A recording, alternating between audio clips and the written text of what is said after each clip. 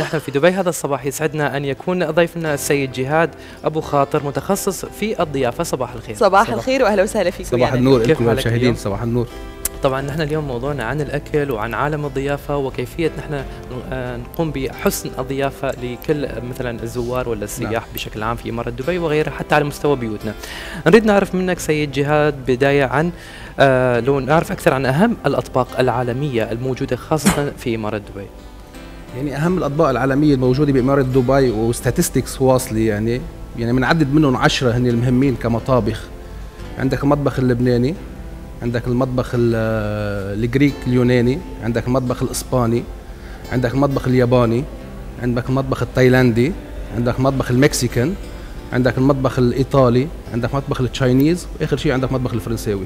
يعني زين. ذكرت المطبخ الياباني لأن كنت بزعل وين لا لا أكيد في السوشي والساشيمي من أهم الأطباق نعم. الموجودة بكوي لأنه بتاخذ عندك بالمطبخ اللبناني عندك المازات اللبنانية صحيح. المعروفة على صعيد العالم العربي والعالم. عندك بال Greek معروفة السلطة الاهم سلطة عندهم هي ال Greek salad الموجودة بكل المطاعم وكل ال outlet عندك بالإسباني عندك البايلا ال seafood paella الموجودة كمان عندك بالياباني مثل ما قلنا السوشي والساشيمي عندك بالتايلاندي عندك التوم يام عندك بال بكل يعني بالفرنساوي عندك الكرواسون الكرواسون الأشياء الأكلات الموجودة العالم بتتداولها كثير يعني هي بتعتبر من أهم الأطباق الموجودة ال Chinese ال fried rice ال noodles القصص. جهاد وين ال diet راح؟ يعني ما في diet ما في diet في المجال خلاص. شهيتنا نحن في هيلثي فود ما في دايت بس هيلثي فود نعم. دايت ما في. وفعلا يمكن توجه أيضا المطابخ في الآونة الأخيرة إلى التوجه الصحي أكثر عن أي شيء نعم. ثاني. خلينا شوي نتكلم أيضا عن فن الضيافة واستقبال السياح خاصه إنه يمكن مثل ما نعرف نحن يعني إمارة دبي معروفة بفنادقها معروفة ب آه، يمكن مقاهيها التي دائما تعج بالسياح اللي يأتون من كافة أقطار العالم. يعني نحن اليوم بدل ما نسافر إلى العالم جلبنا العالم إلينا بأطباقنا ومطابخنا. وهذا بين بستاتستكس كمان بسنة 2011 2012 نمو هذا القطاع. نعم. يعني نمو القطاع تحسن بين 15 والسنة يمكن صار 20 و25% بأول semester أول ثلاث أشهر من السنة. أه رح نهونها على المشاهدين. استقبال السواح بدبي وحسن الضيافة هي من عاداتنا وتقاليدنا. نعم. أوكي؟ بنتعلمها ببيوتنا وبننفذها ببيوتنا. كيف على صعيد الدولة وعلى صعيد مؤسسات بتعاطى ال hospitality وغير ال hospitality يعني ال hospitality industry صناعة كثير كبيرة. نعم. من عندك من الأوتيلات للمطارات للمطاعم لكل شيء بيتعاطى ال hospitality شركة التوريزم والترافل والتيكتينج كله بيتعاطى الهوسبيتاليتي فأنا بهونها على المشاهدين بقول لهم أنت كشخص ست بيت جاي لعندك ضيوف كيف تتصرفي؟ أوكي نحن جايين ضيوف من برا كيف لازم نتصرف؟ according to grooming اللي هي نظافة الشخص الهندام الهندام كل شيء بيختص بال بال بال hospitality اللي إحنا بنتصرفه ببيتنا أكلاتنا طريقة توضيبها كذا ال service على الطاولة ال quality of food ال presentation حسس الضيف أيضا كله. انه you are most welcome now and anytime يعني هلأ وبعدين. أنت موجود وأهلا وسهلا فيك طبعا. أه سيد جهاد لو تكلمنا أكثر عن مدى التعاون بين بلدية دبي وبين المطاعم ووزارة الصحة بشكل عام. تعاون بين بلدية دبي ومكتب الصحة ببلش قبل ما تطلع المؤسسة. يعني ساعة الواحد بفكر بده يعمل مؤسسة hospitality ببلش التعاون معه. نعم. وما ببلش آه، بالأرض قبل ما يبلش ياخذ جميع الشروط مستوفات من البلدية ليعطوه مباشرة العمل. ساعة بيخلص مباشرة العمل وببلش ببلش الشغل الجدي على الأرض من دبي Municipality inspectors نعم. التفتيش اللي بينزل على المطاعم. اللي بيعطوا كل مطعم هو ال premises inspection card اللي بيضل في في مواصفات عالمية. آه للأشخاص اللي بيشتغلوا بالمطابخ كيف لازم يتصرفوا كيف يحطوا ال hairnet ال gloves بالإيدين. ممنوع يكون عندك جرح ولا ما كذا إلا ملابس نعم. واحد. طبعا في رقابة مشددة أكيد على رقابة مشددة وفي fines توصل لحديت ال 5000 درهم إذا في آه مخالفات مخالفات. وفي نعم. تسكير مؤسسات بيصير ساعات بتتكرر المخالفات وما بتتحسن. أكيد دبي Municipality ودائره الصحة بقلب دبي Municipality عم تعطي هذا الموضوع كثير أهمية كبرى بسبب الوافدين كثار على البلد. يمكن لعل هذا الأمر سيد جهاد هو سر نجاح أيضا المطابخ العالمية الموجودة في إمارة دبي. يعني نحن اليوم عندما ندخل مطبخ أول شيء يلفت نظرنا في أي فندق أو في أي مقهى هنا في الإمارة نظافة هذا هذه أكيد المنشأة أكيد. ونظافة أيضا الذين يعملون في هذه أكيد المنشأة. أكيد أكيد. وهذا أكيد موجود على كل على كل comments card موجوده بقلب مطعم بيقول لك أهم شيء النظافة كيف نعم. نظافة الأشخاص وال grooming تبع الأشخاص. بالهوسبيتاليتي بيعلموك يو يعني بيك يعني اوت ساند كلين يعني أنت تكون نظيف من الخارج. من الخارج ومن الداخل من يعني الداخل. كل شيء بدك تكون نظيف مش بس بالأواعي وكذا أنت نظيف وكل شيء بتعده لغيرك اعتبره عم تعده لك أنت بدك تاكله. هذه كيف يعني أشياء مثل هي على طول بتضلها الستاندرد عالي. وهذا كثير عم يساعدنا بالشغل برا. كثر خير. الله كثير شغل حلو.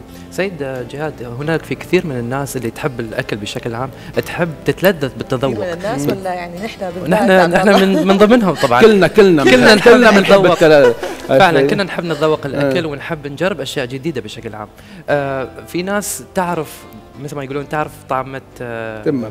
تمها. نعم. آه هالأشخاص آه يعني مثلا أنتم كيف تعطونهم آه نصائح على الأكل اللي ممكن هم تقدموا لهم؟ اياه كونك أنت خبير في عالم الضيافة. يعني شو اللي تنصح؟ آه أول شيء نتذوق. كيف نعرف نتذوق؟ اللي بيعرف طعم التم هو بينصحنا. هو ينصح أكيد. يعني اليوم بعض الأوتيلات وال five stars hotel والمطاعم المعروفة بتحط المنيو بتحط engineering لل menu وتحضر المنيو تبعها هي بتستدعي التذوقين يذوقوا. هذول الخبراء بالنسبة للعام. هلا بالشكل العام الأكل متعة. okay؟ في متعة تذوق آه، وغير عن الأكل. في عالم بتاكل بسرعة في عالم بتتذوق صحيح. اللي بيتذوق هو بيتلذذ أكثر بالأكل. طبعا. صح. هاي كيف اللي بيستطعم بطعمة الأكل from A to Z هذا كيف اللي بياكل على مهله بيستطعم بطعم الأكل from A to Z اللي بياكل بسرعة ترى في ناس تاكل علشان تشبع وفي ناس تاكل عشان تتلذذ. هو الأكل لازم الواحد ياكل عشان يتلذذ. صحيا أحسن. صح. آه؟ وبيستطعم بكل أشياء موجودة بقلب الأكل from A to Z ك ingredients موجودة بقلب الأكل نعم. وبيقدر ينصح على المدى البعيد صح. بصير يبلش يتذوق بصير يقدر ينصح بصير يروح على غير محلات ويعطي comments ويعطي ملاحظات. في شغلة أيضا لاحظتها سيد جهاد في مطابخ الموجودة أو في المطاعم الموجودة في آه، الدولة إن مثلا يكون عندك شيف لبناني وإنما خبير بالطهي الإيطالي أو مثلا آه، شيف ياباني خبير بالطهي آه، خلينا نقول التايلاندي. يعني في صار تنوع أيضا من المذاقات. أنت كونك خبير في هذا المجال هل تنصح إن ال ال مثلا الشيف الإيطالي يقوم بتحضير ال recipes الإيطاليين وغيرها ولا أيضا جميل إنه يكون في تنوع. ممكن أيضا الشيف اللبناني يضيف نكهة معينة إلى الطبق أكيد الياباني أكيد. ويطلع معه طبخة أكيد أكيد. غير شكل. هو الأكل ال basics are basics هلا كيف تشتغلي بال ingredients الباقي هذه according to the chef يعني نعم. كيف الشيف هو بيعطي هو الفن هو اللمسة اللي بيعطيها. يعني اليوم بتلاقي مثل ما بتقولي أخصائيين موجودين بس بيحطوا اللمسات تبعهم وبيخلص إنه هي هي. يعني أهم شيء كل محل يكون عنده identity صحيح. مش خليط يكون عنده identity وتعارف. هوية. هوية محل كلها سوا. وبعدين الشيف يمكن بيختص بالإيطالي يمكن بيختص بالأجنبي يمكن عنده هو background لبناني عم بيختص بالإيطالي. هذا شيء جديد وحلو. مبتكر هذا بيقدم المصلحة لقدام لأنه المصلحة ال hospitality ما بتوقف اليوم. ضلها ماشي ال hospitality كل يوم بيطلع فيها أشياء جديدة. صحيح. آه وكرمال هيك بيطور حاله البني آدم بيشتغل بهذا بهذا الدومين. يعني من 20 سنة غير هلأ وهلأ غير بكرة وبكرة غير بعد بكرة. كل يوم بيطلع أشياء جديدة بهذا الدومين. سيد جهاد شفنا في الفترة الأخيرة أنا يمكن لاحظتها شيء في عالم المطاعم.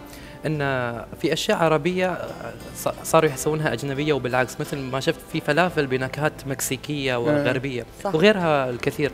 بس في سؤال فضولي أنت كونك كشيف عربي لبناني آه يعني متخصص في الأكل العربي أو الشرق الأوسطي خلينا نسميه لما بتروح مطعم شو تحب تاكل؟ أي مطعم؟ يعني أنت اليوم جوعان وتريد تروح مطعم عشان تتغدى أو تتعشى أول خيار يجي على بالك شو؟ يعني أنا ساعات بروح على المطاعم بحب أروح على المطاعم تقدم طبخ لأنه أنا بدومين شغلي قليل لاكل طبخ بكون عم أتنقل من محل لمحل كذا. يعني بحب أروح على المحلات وهذا الشيء الصحي الاكثر اللي هو ويحسسك إنك في المنزل آه فلا بتحس حالك إنه أنت ببيتك ساعات تطلب وجبة أكل يكون فيها طبخ. هذه فلي. هلأ أنا كشخص من هواة الأكل السوشي وال Chinese يعني ساعات بكون طالع لبرا فلي طالع برات برات المطاعم نحن بنديرها نعم أو بنشتغل فيها. هذه فلي بحب أروح على هذا الدومين الأكل السوشي وال Chinese هلا كقاعد بالمطاعم بحب آكل الطبخ اللي عامله الشيف. خلص بعد الحلقة ليال بتعطيك list ة باسماء مطاعم. هي خبرة ليال بهالموضوع. والله صراحة يعني يمكن لأنها صحية بعض الشيء. يعني أيضا اليوم كان في تركيز سيد جهاد على الطعام الصحي. يمكن يعني صح. محبتي للسوشي هو لأن بدافع أنه هو أيضا أكل خفيف الدسم أو قليل الدسم وأيضا صحي وله فوائد صحية أخرى. مش بس ف... أنه المطاعم, المطاعم حتى صارت عم تخلق corner بقلب المنيو اسمه healthy food صحيح. من salads ل main courses لكل شيء. يعني عندهم healthy food صار بالمنيو لأنه العالم وصلت يعني على مستوى صار عندهم قدر من صار التوعية. صار بدهم هلأ ال healthy food. وصارت المطاعم والأوتيلات وكذا عندهم sections أو side menu على ال table. هذا ال healthy food الموجود عندنا بالمحل. في آه، بعض العالم ما تعرف شو الفرق بين ال healthy food وال organic أو الطعام العضوي. فلو تعطينا نبذة سريعة حق هالناس انه بس توضح لهم الفرق بين الأكل الصحي والأكل العضوي. الأكل العضوي هو المزروع. بدون أي كيماويات ويعني مثلا باذنجانة مزروعه بمحل طالعه على طبيعتها نعم.